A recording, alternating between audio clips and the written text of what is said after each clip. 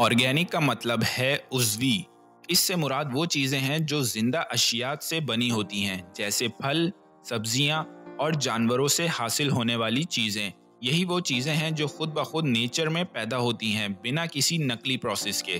For example an organic apple is grown naturally using compost and manure while a non-organic apple might be grown using chemical fertilizers. इसका उर्दू में मतलब होता है उजवी सेब या ऑर्गेनिक सेब। कंपोस्ट और गोबर की मदद से कुदरती तरीके से उगाया जाता है, जबकि नकली सेब खादों या कीमियाई की वजह से उगाया जाता है। तो अब आपको ऑर्गेनिक का उर्दू में सही मतलब और एक्सप्लेनेशन मालूम है। मुझे उम्मीद है कि ये वीडियो आपके लिए हेल्पफुल रही होगी।